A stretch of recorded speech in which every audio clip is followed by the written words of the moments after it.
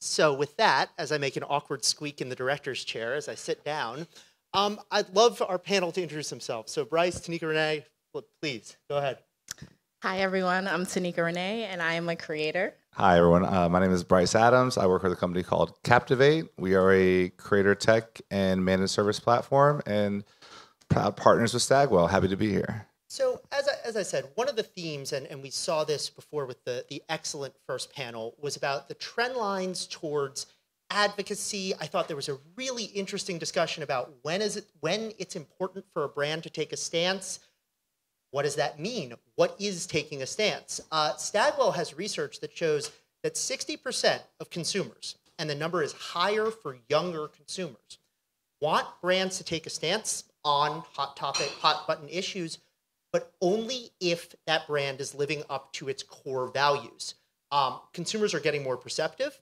They're getting more, some might say, skeptical of these corporations. And so brands that get this type of action wrong face serious financial and reputational headaches. So I wanted to start, Tanyka. Why is it important? Why is it important for brands to participate in advocacy when they do? Um, so I'm one of those creators who doesn't consider herself a creator. I'm like, I just create content that I'm passionate about. I'm not an influencer. Um, so when I work with a brand, I feel like, well, I'm big on community. So when I work with a brand, I feel like I'm bringing that brand to the living room table. They're coming to dinner. So this brand is I'm welcoming you into the family. And what you stand for and what you're doing has to align with my family. What was the question? I mean, I think that was a great answer. Why is it important that these brands participate in advocacy when they choose to? Um, because you're you're I'm introducing you to my family. So what you stand for has to represent my family. It's gotta you gotta think about it as an always on. You talk about it being a core value to who you are, and you think about like the beauty and personal care space and the challenger brands that are coming out there and the brands that really stand on something that's like positive socioeconomically or for a pro-social base, whether it's like a donation of some sort, whether it's some sort of ethically source, uh, sustainable source materials so it's very easy for them to show up in the right way when things go wrong. And you see a lot of your legacy, you know, large scale portfolio beauty personal care companies are seeing their bottom lines being hit by brands that are more purpose driven. And so then when you try to jump into a conversation, um, you don't really have permission to make a stand or, or take a statement. So I think it's a general principle in life. Like anybody can talk, but you usually have something to say, and that really is backed up by kind of what you're known for as a brand. You know, the way that you align your values with your consumer, which is what you're talking about when you try to bring into a third party advocate, which is what creators are, right? You're tapping into them, their audience, their experience, you know, their life story to reach an audience of people that feels very similar to them. Um, so it can just go really wrong really quickly if it's not something that you're constantly focused on as opposed for waiting something bad to happen to be like, oh, this is our chance. Mm-hmm.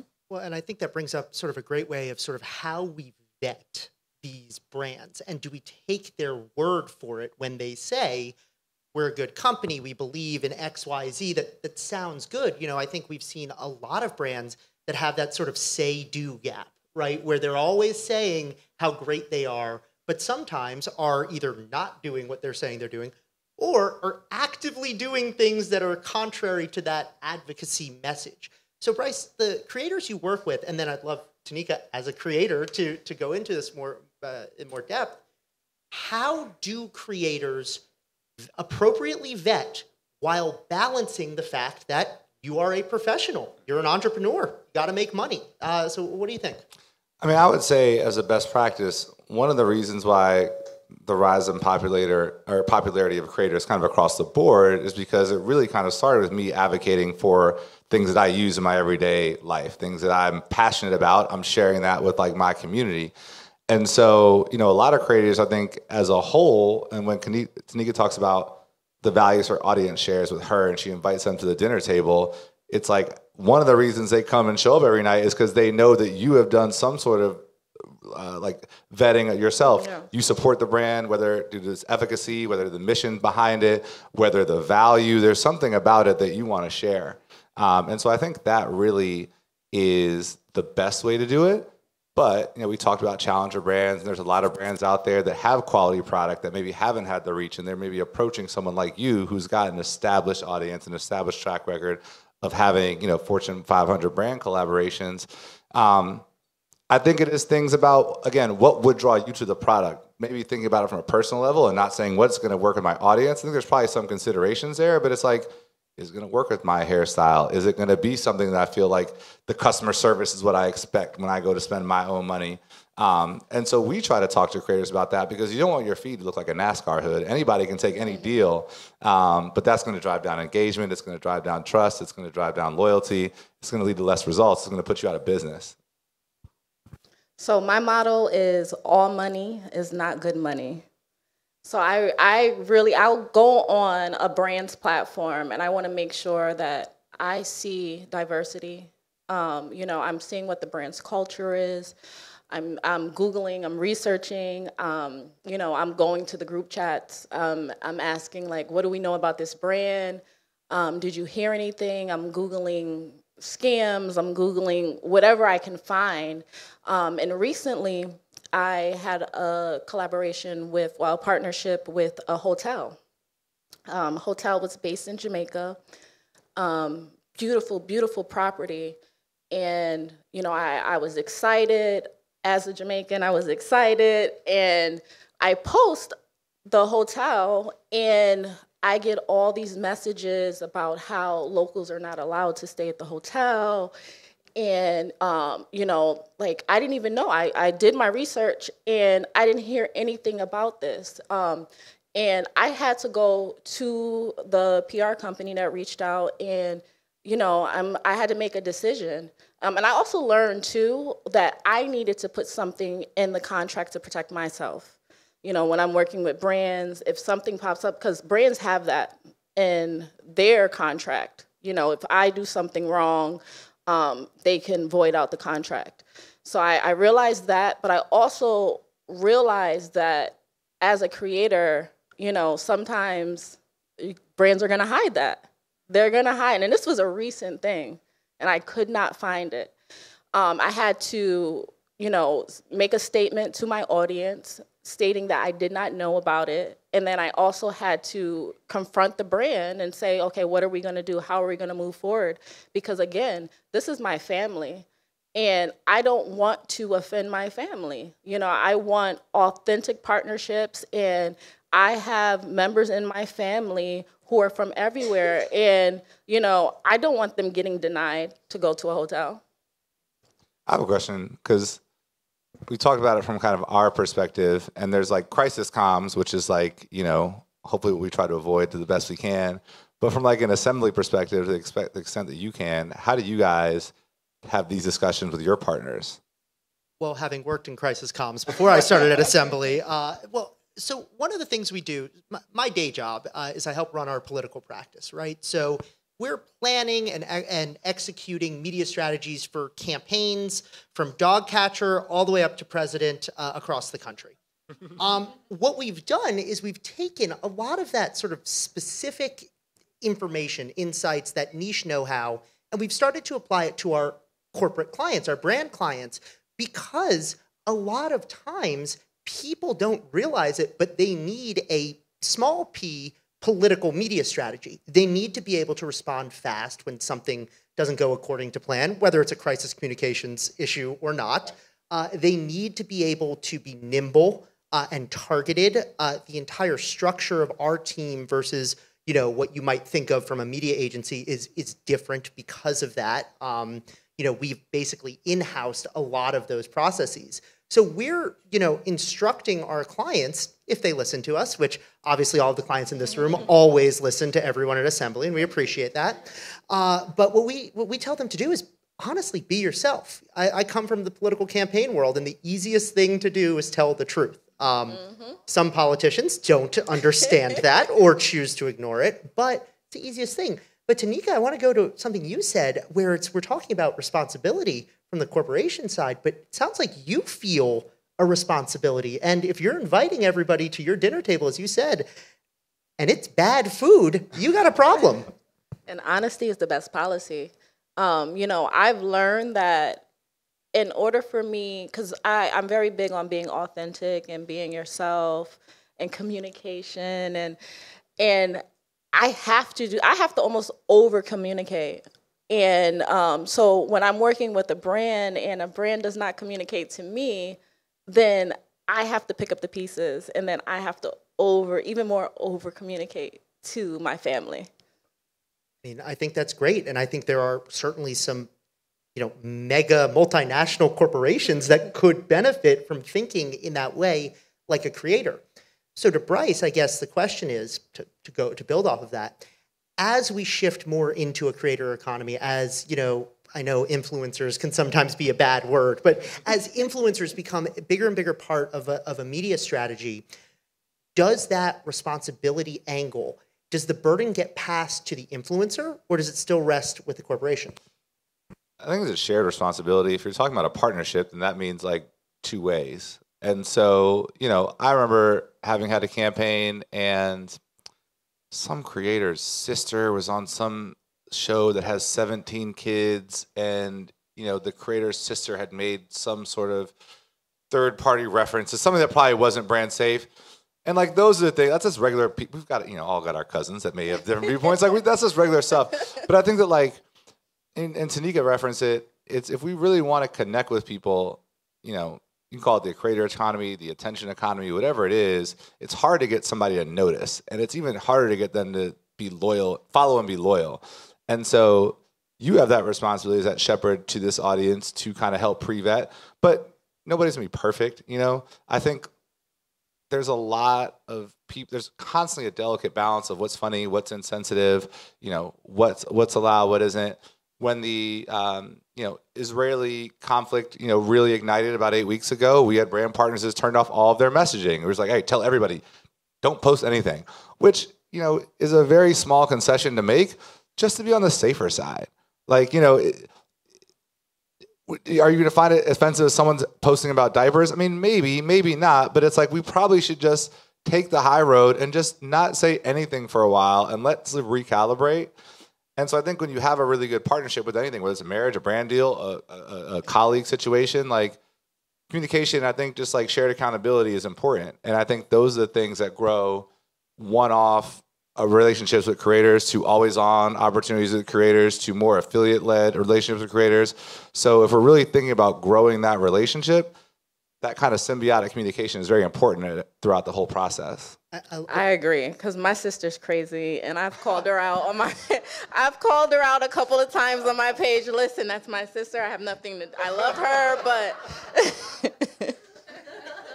I, I think that was a, a really interesting point you brought up uh, with the, the diapers and, and sort of the, the geopolitical issues and how that mixes. Because I remember a couple years ago, we had a core client who we were talking to about things like this, and and they said we don't want to be anywhere around political issues. And this was October of 2022. And I was like, okay, well, you have two choices. You can go dark, but you're not going to make your holiday season uh, goals, or you can learn how to coexist. We live in a democracy. Like, there's going to be political uh, going on, probably 10 to 12 billion dollars this year. So it's, I, I think it's it's good to to see that brands are starting to realize that like brand safety doesn't do anything for you when you can't build a brand because you've gone dark for the last six months. I mean, I think that's a, important to kind of touch on. You're right, just the balance of getting the job done, but also making sure that you are showing up in the right way. And this year is a really interesting case study because we have the Olympics, you know, and there's a lot of, to your point, geopolitical turmoil out there, and there's probably going to be moments that are going to happen, and you know, somebody's going to have to figure out how do we respond to that. Um, it's an election year, so you're turning the corner on that, and that's going to be really divisive around one just breaking through the clutter and how do we actually you know when everyone's talking about especially when you have one candidate who really knows how to dominate a news cycle so there's going to be a lot of talk around that and like, how do we play off that? And i think there are some people who like wendy's on twitter can get away with making a joke because like that's how they've always been and it'll probably be funny. Um, you know bank of america probably can't make too many political jokes on twitter. It's not going to turn out well for them and that's where we have to like your job to shepherd your clients through that is very similar to Tanyka's, just in a different kind of way. And I, I think to Tanyka, that's a great a great lead in. How do you tell when a company's full of shit?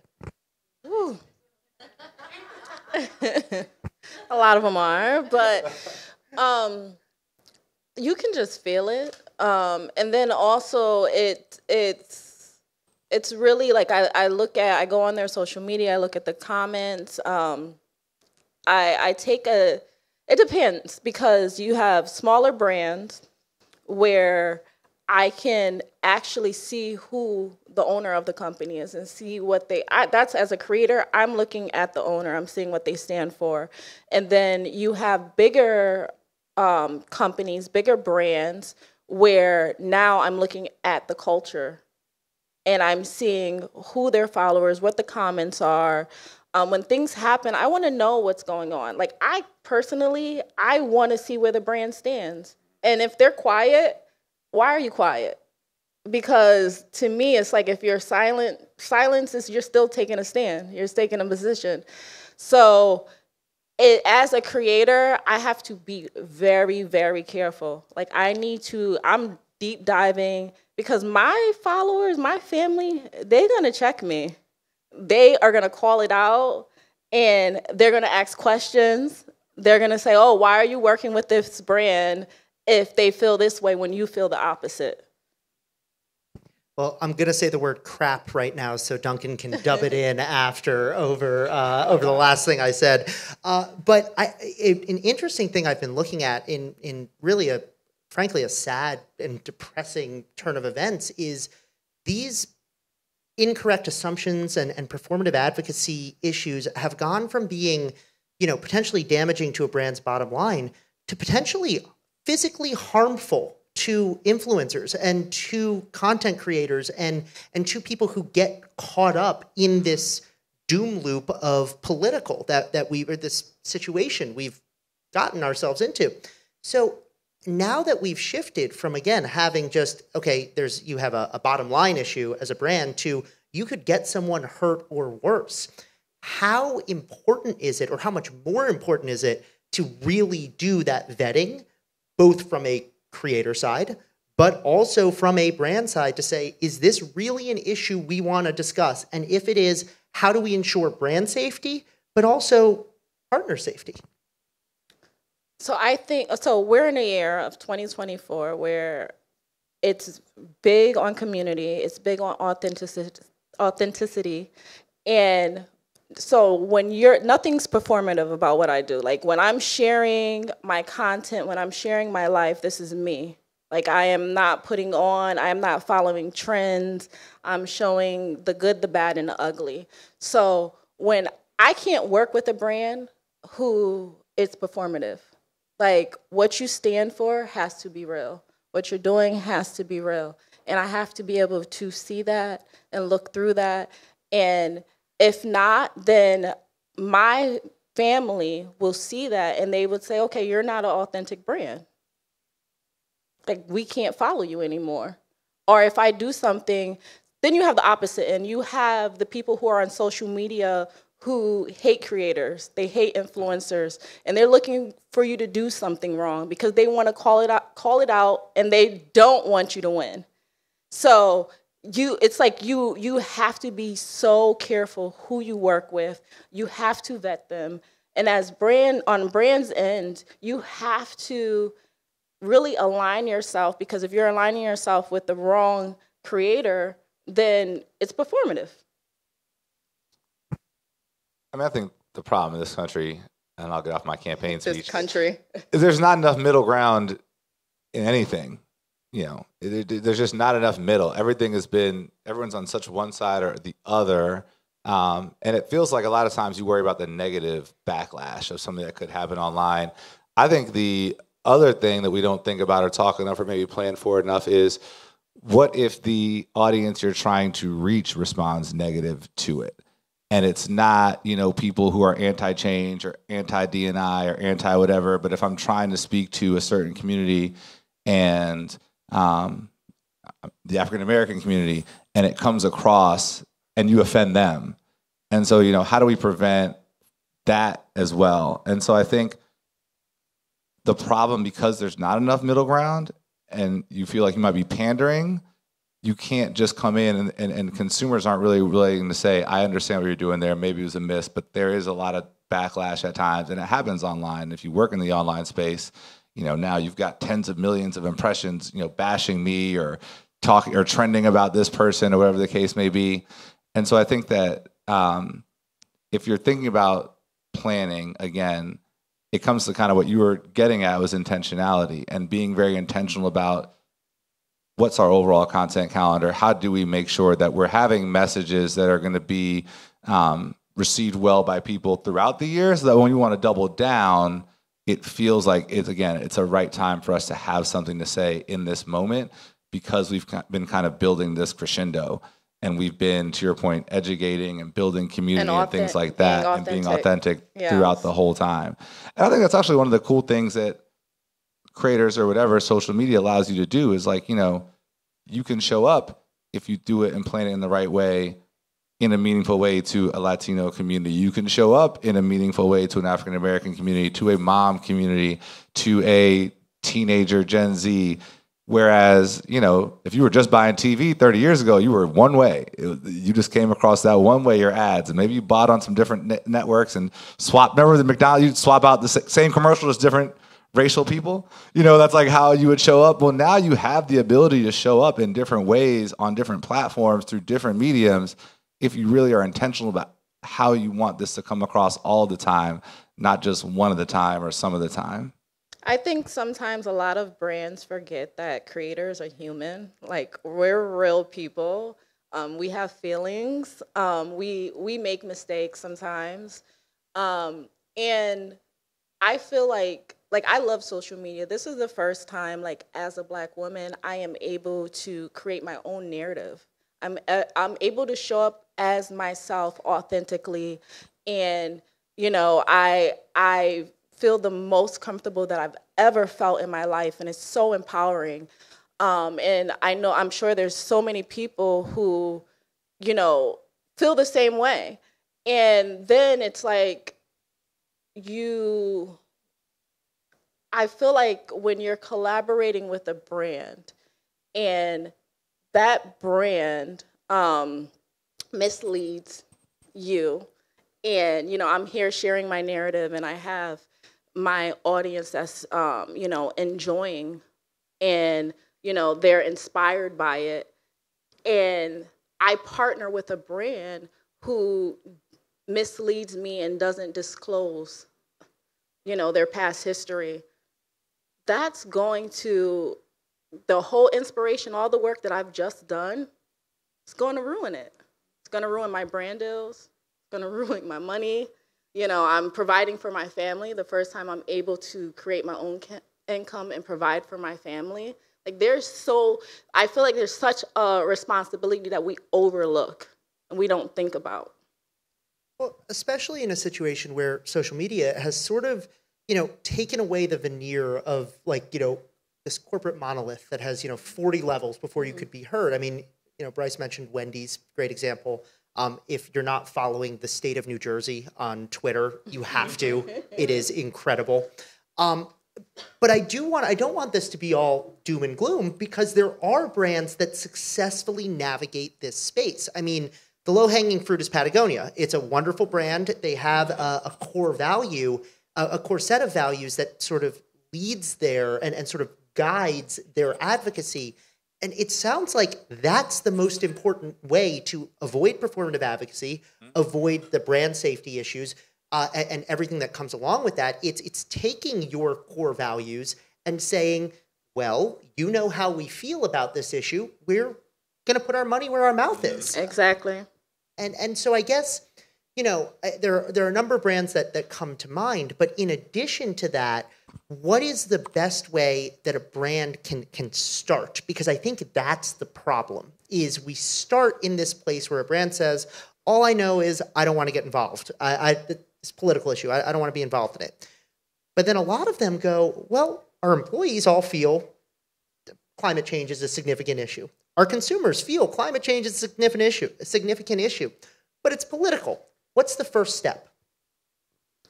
Well, I think the first step, mind you, I'm a creator, but I think the first step is what is the brand's identity? Like, I feel like, um, you know, brands, we're, we're in an era right now where the economy isn't so great. So, every now and then like a brand might panic and say hey you know let's let's do this or let's do that but does it align with the brand identity because when i'm doing my research and seeing if it aligns with my brand's identity i'm basing it on what's out there so now when you want to go left then I didn't know that you went left your your last two campaigns, and I'm looking. Okay, this was your core value, but two cam- two campaigns ago you were left. So I don't know that. So now when I work with you, then I end up misleading my audience. So I think a brand has to stick with their brand identity, their core values. They also have to determine what that is. I think it's um a couple of things. I think one, just recognizing that there's a gap is just a huge step, as opposed to just like, oh, we'll just leave that over there. you know, just recognizing you to do something, and then you you know you put together a plan from there. I think the other thing is like you know as younger people, it's becoming really a big part of. You brought up climate change, for example. They're, they're very much active in that way, and they appreciate brands that are again kind of giving back in some sort of way in that way a lot more than I think our generation ever was. So we don't have to wait for those folks to all get jobs, but as they get more buying power, I think people it'll be you know the way we were at DNI 30 years ago or whatever. Like you'll just start to see an increased shift on that. And anytime you're providing value to your consumer, that's good for you. So that value could be, you know, through an experience. That value could be through the way you sustainably source. That value could be through the way that you just recognize that I connect with you on one on a level where we both recognize something is wrong. Um, you know, my daughter's six and she talks about things that are bad for the earth all the time because for her it's just something that she learned about it in school and she's really concerned. You know, was, like climate change is a, a, pie in the sky idea when I was in first grade 35 years ago. Um, but, you know, for her, it's like, it's here. Um, and so I think, you know, being good corporate citizens is good for business. And I think it manifests itself in a lot of different ways. And I would think that like the, everyone has some sort of intention to stand for something and have solid core values and connect with consumers in some way but it becomes performative when you try to show up in a space where you should not be. Exactly. Or it's it's like you take a brand. I don't want to say what brand it is, but it's like there's a brand that is like their their um you know their their latest campaign is um sustainability, but you know it's fast fashion, and you know it's it's like you're fast fashion. You're really not sustainable. So it's like it's performative. and um, and it's a lot of brands that do that. So to me, it's like you, you're just hopping on a trend, and it's not authentic. One of the fascinating things to me, because I'm a nerd and like looking at this kind of data, but uh, rainbow washing is fascinating to me because come June, you will see brands that you know oh, yeah. change their profile picture to a pride flag. Well, because I'm a nerd, I'm on Open Secrets. I'm on the FEC looking at what super PACs this brand oh, yeah. donated to over the last year or two. And very often, it is not ones that necessarily go with their, their theme of being inclusive on Pride Month. Um, mm-hmm. One thing, I, I want to be conscious of time, and, and I definitely want to open it up to, to questions. Um, I've seen a lot of active listening, so I'm sure there's a ton of questions. Yes? What occurs to me is that there's a, a disconnect between um, boards of directors, trustees, stakeholders of companies, and the, the creators of their marketing strategies and their audiences. Um, and it feels as though there isn't enough accountability. Or what do you think about whether or not there's any accountability um, to the the stakeholders, right? So if your board of trustees is is is thinking politically in a very specific way, right? Like, to what degree is um, are they being um, kind of conscientized to the direction that the brand wants to go, or the direction that the, that their consumers are, are leading them towards? Because you know, consumers are essentially voting with their money, right? So now the board of trustees and the stakeholders have have a duty to be conscientized and educated. Is that not? I think that's a phenomenal question or comment, a phenomenal point to make, right? Because the answer is it is difficult for these brands to do it. And I'll add to that, not just the consumers or voters, but we have seen extreme amounts of employee advocacy at some of these really large companies where the employees are challenging the direction uh, of the way things are going. So I think you add that to the fact that, you know, your consumers want you to go a certain way, your employees want you to go a certain way, and now we're we're maybe with a select group of people who aren't necessarily representative of the world or representative of their consumers or employees. And again, that's it's a danger zone for brands. And it's it's it's about money. you know, even as creators, like a lot of times we take money, rent rent comes on the first and it's mm. like, you know, this brand reaches out and I'm like, "Oh, that's rent." you know, and and sometimes it doesn't align. And you know, it's like do I pay rent? Or do I take this, you know, do I take this and pay rent or, you know, it's it's it's hard. Like we're all trying to figure it out, but not all money is good money. if anyone's on the board of directors of a Fortune 1 to 300 brand and wants someone to do it, you can hire me right now.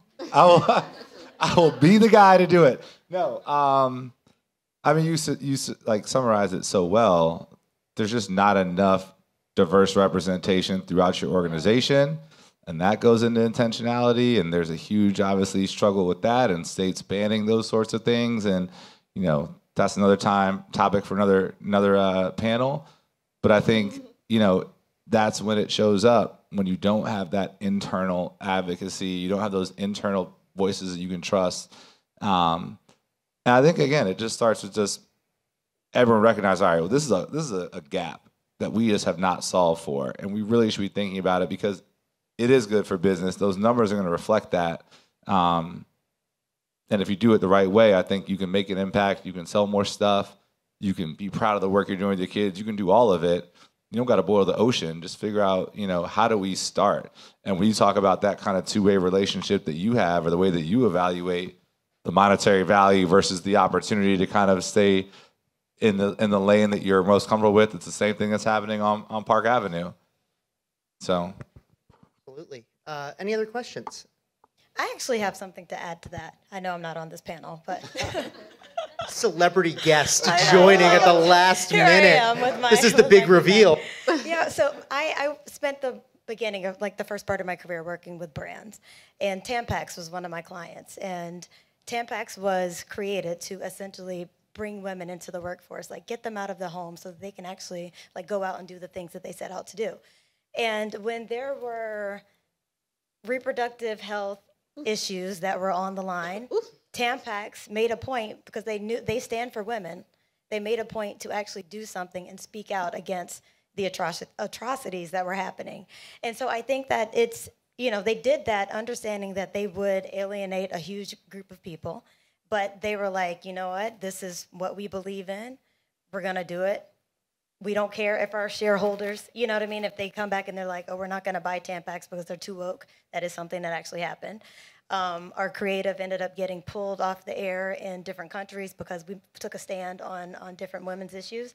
And so I think that brands also have a responsibility to live up to their heritage, like what they, you know, mm-hmm. they need to they need to tap into basically what got them into this industry or whatever industry it is and stick to it, you know? Like be a true advocate for your consumers. Your consumers are looking to you as this brand that's been around for hundreds of years to be on the side of right. And so, you know, they have to do and, it. And to add on that, Tampax created a community. Yes. And it's like it and I think that's what caused the longevity because when you create a community, whether you're a creator or you're a brand, you can outlive any trend. Yes. Yeah. And, and just on my experience. Um, no one asked for. Um, but uh, I, I, had a client while, um, while I was working on uh, a lot of the P&G business who used to refer to me as her multicultural muse.